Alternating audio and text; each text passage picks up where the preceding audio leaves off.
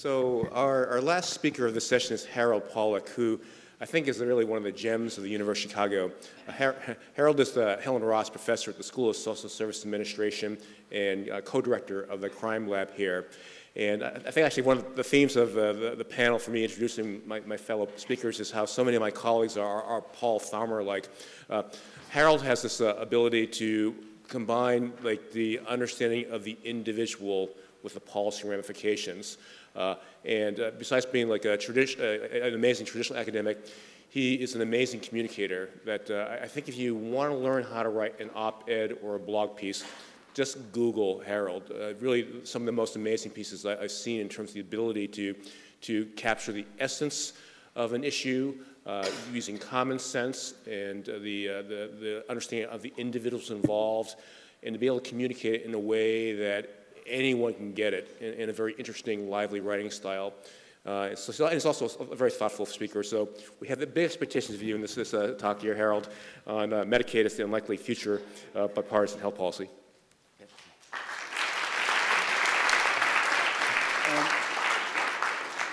thanks, Marshall, for that setup, uh, I think. There, uh, I hope I, I, uh, I, live up. By the way, as he's saying that, I'm dropping the battery out of the clicker, just so that uh, so I've already failed. There, um, uh, I, I want to talk today, in, in some ways, the, the talk today describes how Medicaid imperfectly, and in an unlikely way, is emerging as a vehicle to deal with a lot of the issues that have come up earlier today.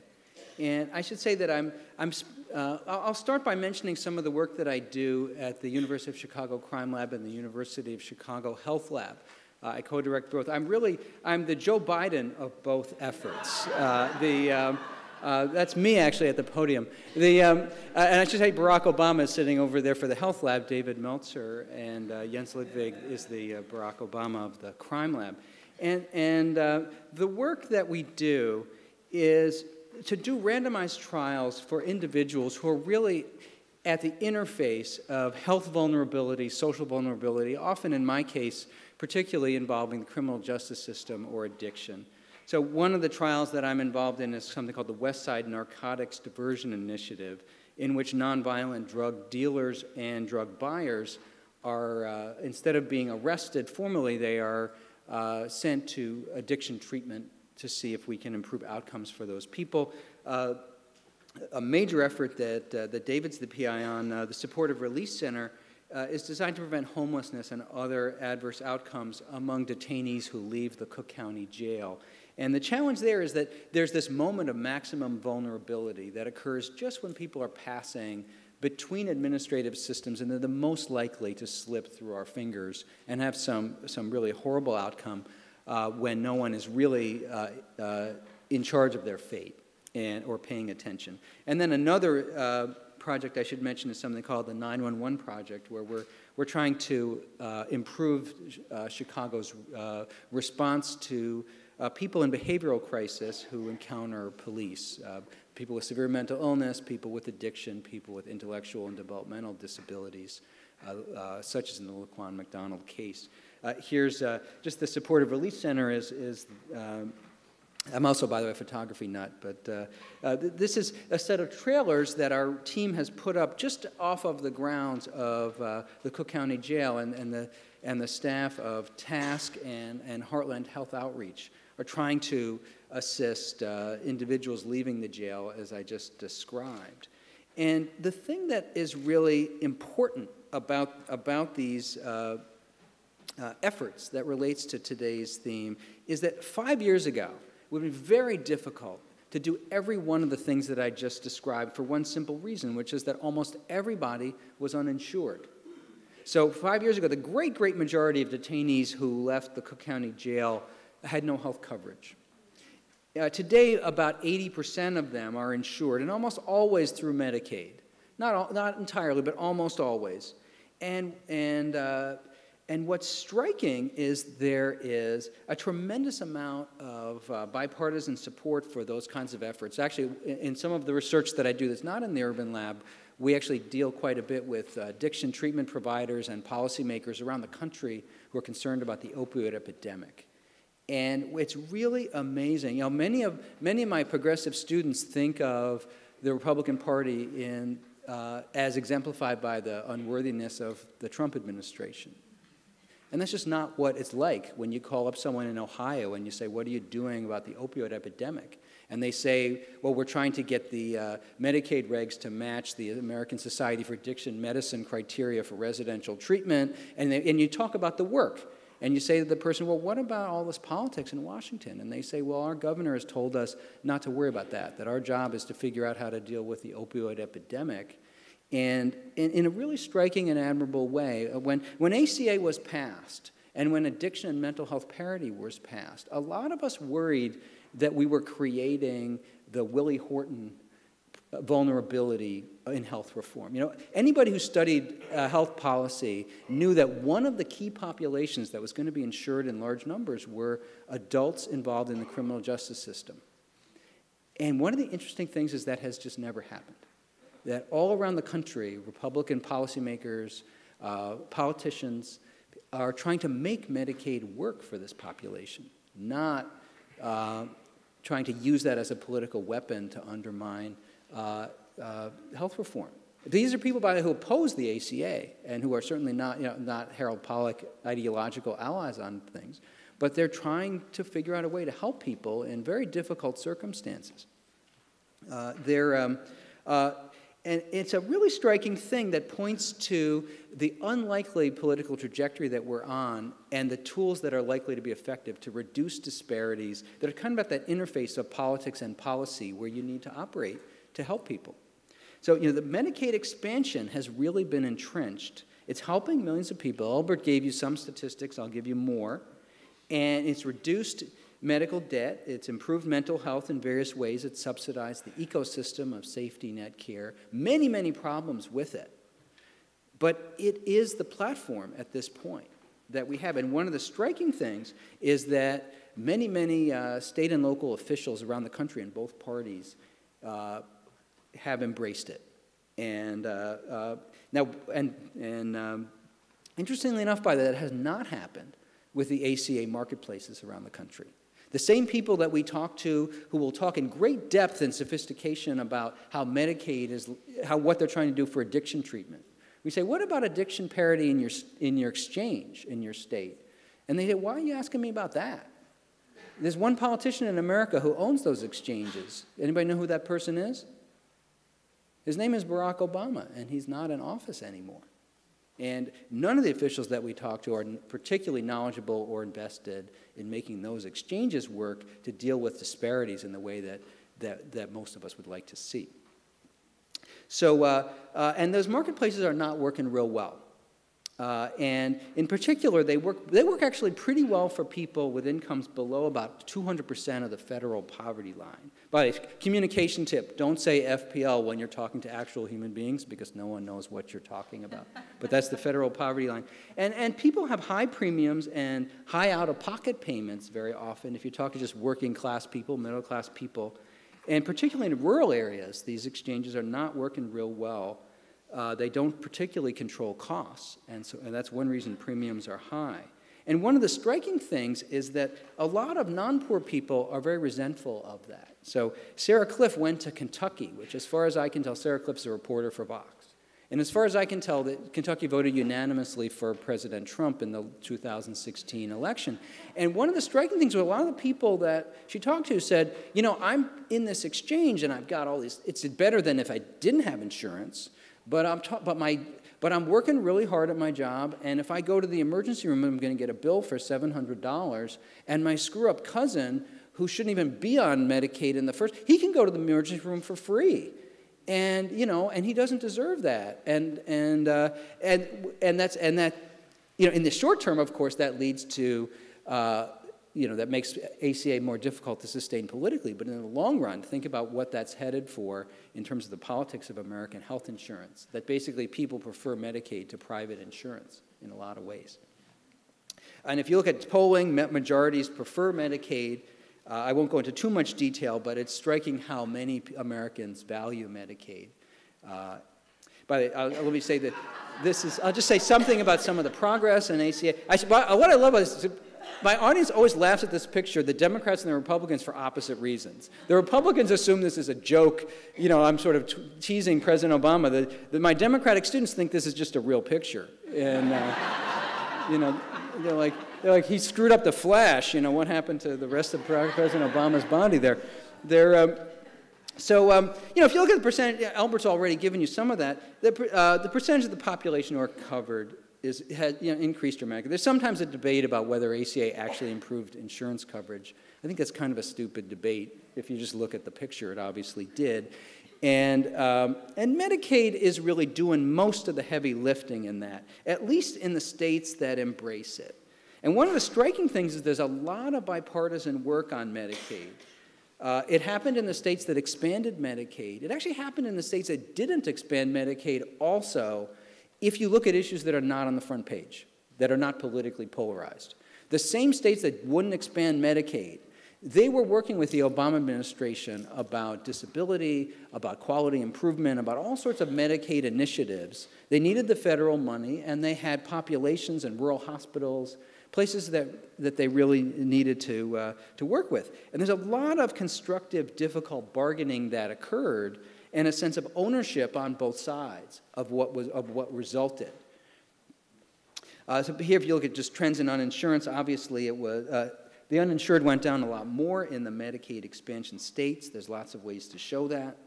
Uh, there's been a decline in bankruptcies and medical bills, and Medicaid is, is really the key, the key lever there.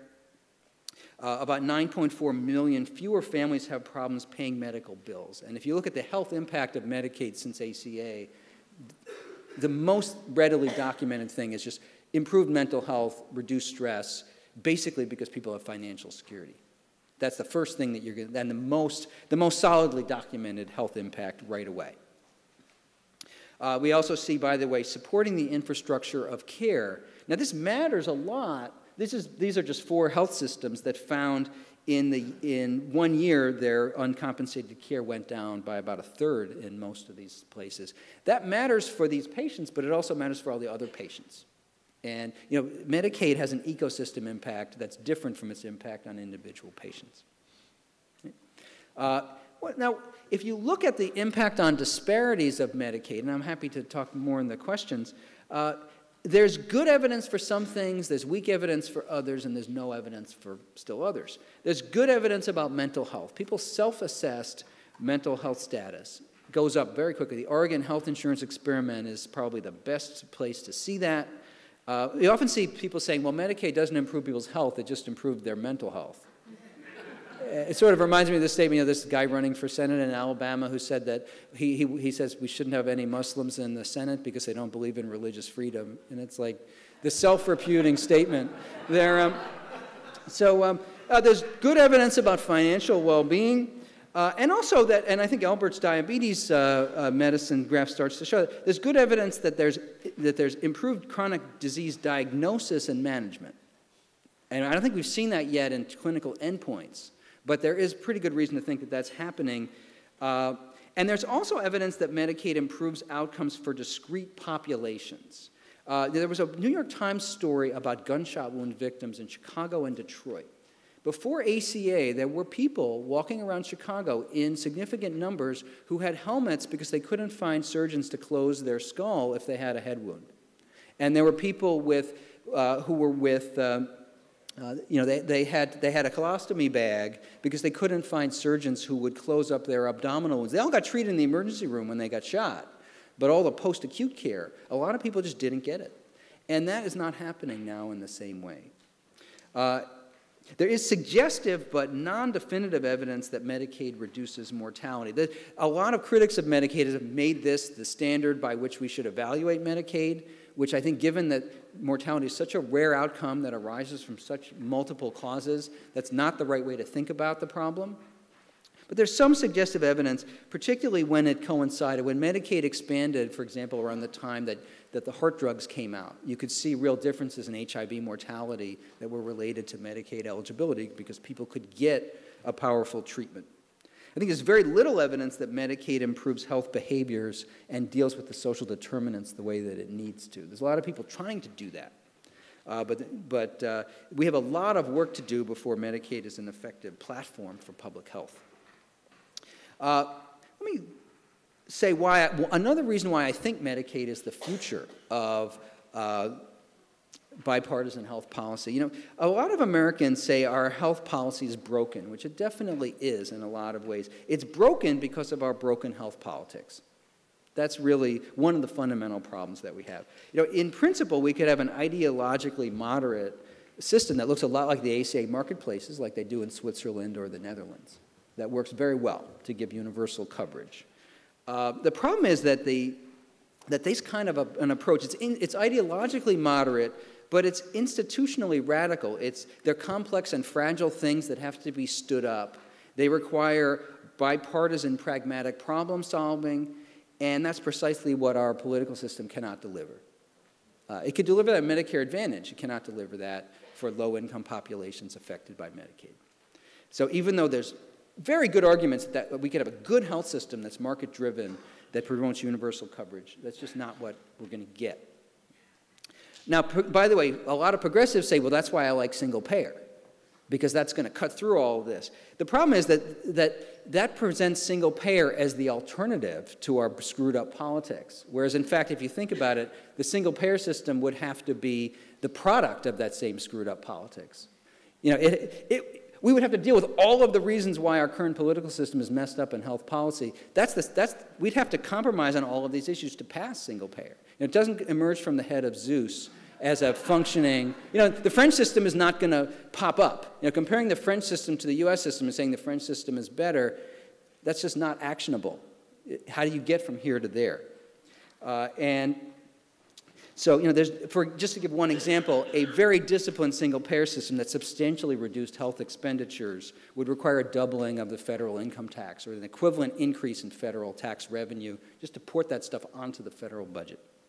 Uh, and, and there's just a bunch of things that are really, really a huge lift for American politics. And then there's also the question of what do you do with the existing infrastructure of state Medicaid programs. So, you know, we've had 50 years of disability programs. Anybody know what the Sanders single payer plan does with Medicaid services like home and community based services? Leaves them as a separate system completely brackets that, which I think was a wise decision, but it basically was a very interesting acknowledgement. We don't know how to rewire this. And also, we need these governors. So, um, uh, so I'll, I'll, stop and uh, just to close out, I will say the next go around, where it's a little bit like 2006 right now for a lot of Democrats. They're, they're looking at results like last night or two nights ago in Virginia, saying, We're going to win some elections soon. What do we do?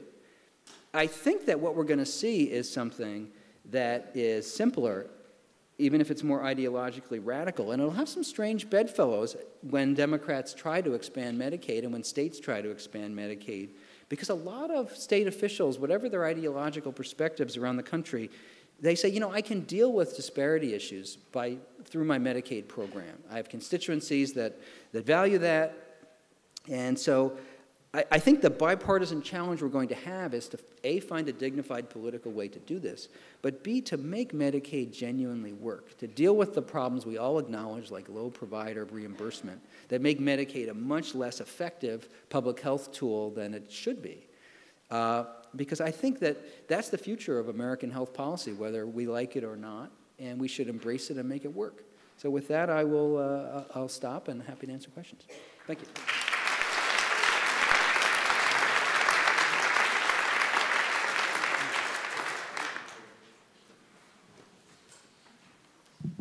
Hi, Harold. Thanks, Debbie Stulberg from the University of Chicago. Um, a quick comment and a question. I wanted to highlight one area uh, where there's, I think, pretty good evidence of Medicaid's benefit that you didn't have on your list um, that has to do with family planning services. Um, and uh, it's especially threatened in our current era. It's been really cool to practice in a world in which everyone could get any contraception that they wanted and we didn't have to uh, really argue about that, and there's good evidence from before the ACA that states that had family planning waivers, it's not causal, but had an association with lower rates of preterm birth and uh, low birth weight, largely through preventing pregnancies that were both unwanted and would have been high risk for those outcomes had they, occur, had they occurred. Um, so good, good additional point. Um, I appreciate your optimism around the politics of this, but I'm having a hard time understanding, and maybe I, am missing some of the nuance of it. How do you explain the um, governors who have rejected Medicaid expansion despite what feels like just a straightforward gift from the federal government that their populations want and would benefit from that they've rejected? How do we get past that ideological? Well, by the way, certainly on family planning, I agree with you, and it's why it's important for, you know, people who have different moral views on abortion and family planning have been very active politically and have won a bunch of elections, and good for them. You know, I think people who think differently uh, and who hold the values that you express, which I also hold, you know, we have to, we, we, we have to get out there and not just, and, and, and win some state elections. The question of, um, one of the things about Medicaid that's both good and bad is it allows such variation around the country around these issues. Uh, now, on the Medicaid, um, why states rejected Medicaid, I'll show you two maps. This is a map. This is not quite right because, uh, or, or you know, well, there's been a little bit of fuzzy. You look at this map and you say, well, a bunch of states have rejected Medicaid, and it's sort of the yellow, the, the orange states are the states that rejected Medicaid expansion.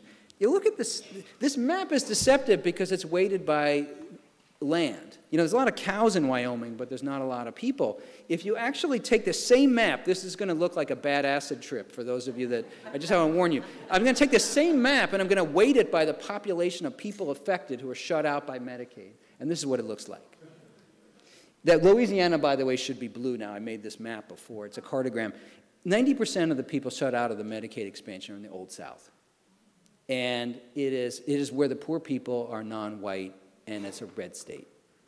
And, uh, um, and that's a big challenge. I was actually hoping that President Trump could convince some of these states to expand Medicaid and basically say, look, you know, you can do that with me, even though you couldn't do that with President Obama. These are going to switch, by the way. I think some of these big states are going to expand Medicaid, but it's going to take time. You know, it took, you know, Arizona 1980. Uh, and, but, you know, we have racial politics in America that, that uh, is a big factor in Medicaid expansion. And that's, uh, I don't know how else to say it. Uh, hi, I'm Nathaniel Meadow over at Loyola Internal Medicine. So I have a clarification question and then an opinion question. So you said that the behavior of those who receive Medicaid didn't change. Does that mean that they also didn't use more resources uh, after obtaining Medicaid? And then the opinion question is, what do you think about kind of how Nevada tried to do by having the buy-in Medicaid option? So let me, let me answer that in reverse order. It was very interesting. Nevada passed a Medicaid buy-in, the Nevada state legislature. And there was a real question about whether the Republican governor in Nevada would sign this thing. And he eventually, after a delay, vetoed it. But think of how much American politics has moved that a Republican Nevada governor, that we were all waiting to see, was he going to veto a bill that would allow anybody to buy into Medicaid?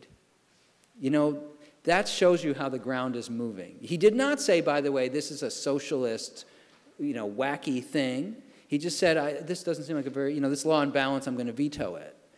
Uh, the ground is shifting. Uh, as far as what's changing in Medicaid, I think that you know, people who face either complex social determinants or complex behavioral issues like smoking, we would like to see health insurance improve those factors. And there's almost no evidence, if you look at, say, the Oregon health insurance experiment, that we affect people's nutrition, that we affect their smoking. In fact, by giving them more money effectively, we might increase their smoking because smoking is expensive. And we haven't figured out how to, that, that line between health insurance coverage and health, not just for people on Medicaid, but for everybody. We don't, we, we're not good at helping people be healthier uh, by, by making sure that they're covered. We can make sure they don't lose their house if they get cancer, and that's great. But we're not so good at preventing the cancer by getting them to stop smoking. Hi, I'm Deb Burnet from University of Chicago. Thank you, Harold, for a great talk, and to all the presenters this morning for wonderful talks. Uh, Harold, what do you think is the role, the most practical way for physicians and physician organizations to help bring about this vision you've put out? Well, I think, I think that there's a couple of things. I would say one aspect is advocacy for your patients. and to put a human face on issues, and to do that with confidence that many, many Americans both really respect what physicians have to say and other healthcare providers have to say, uh, and, and, uh, uh, and to also speak with integrity about what's not working and things that we could do as an institution if, say, Medicaid worked better. You know, several people today have commented that we do not embrace Medicaid patients at the University of Chicago Medical Center as much as we would like to. You know, I, my wife and I take care of her brother who is intellectually disabled, who's on Medicaid, gets very good care at the you know, University of Chicago. We're very grateful for it. We certainly see ways that it is different uh, for him than it is for people with uh, the best insurance that you could get through Blue Cross or whatever. And I think one of the things I'd like to see us do is to be honest, to say to people, for example, to the people in Springfield, here's some things that we would like to do for our patients, but we can't do because you're a bad customer for our hospital. And so that when we talk to our financial people and they say, you know, we share your values, but the university's owed $150 million by the state, and so it's hard for us to be as humane as we would like to be given the financial realities of this. I think that sort of integrity, and I, you know, you mentioned, by the way, notice I said something very, um, I, I criticized, I referred to the president as unworthy. That's another aspect of integrity, just to speak plainly and to say, you know, there's people that are litigating basic values that should be the foundation of American health policy. And President Trump is one of those people. And we're just going to, not in a dramatic way, but just say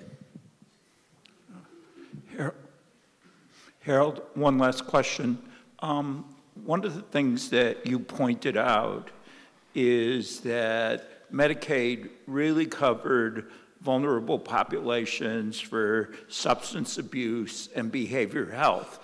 But the counter argument about markets is that there's no private market that does a good job on, let's say, your uh, family member who has intellectual disabilities, for those who uh, experience uh, adult mental illness or behavioral health issues. And there seems to be a gap between equity in Medicaid for basic covered benefits and non equity in insurance markets as we know them that should be much broader but aren't taking place. And that's a setup for just having people caught in the middle and exacerbating disparities. Can you comment on that? Well, there's, there's a lot there. Uh, I mean, one, one of the ironies is the simplicity, the human experience of being a Medicaid recipient is in some ways, in some ways, better than the human experience of being on private insurance. Uh, you know, Vincent, my brother-in-law, has been hospitalized maybe 25 times since, since we've taken responsibility for him. We just never get weird stuff that sort of says this is not a bill that we're trying to figure out, weird paperwork, weird deductibles. Uh, now, we can't take him to every specialist we'd like to take him to because Medicaid doesn't pay enough. But we don't have to deal with a lot of this, uh, a lot of the stuff that people deal with in private insurance. And I think that that that is one of the reasons why there's such a groundswell for expanded public coverage is that pe people don't like private insurance. And the market does not work very well for that. I would never put him in a managed care product, for example. Uh, there's, um, I, I do think that the on these disparities, the details matter so much. And the people in this room know a lot of the details, know the ways that Medicaid can be designed to facilitate access or it can be designed in a way that, that fails to provide access, and particularly for things like addiction treatment, where the populations are so politically marginalized. It's so important for us to explain uh, those details to people in a way that people can understand.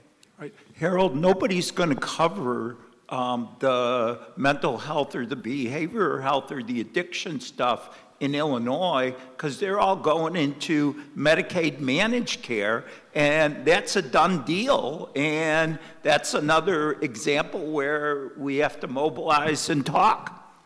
So, one more quick question and a quick response, Harold.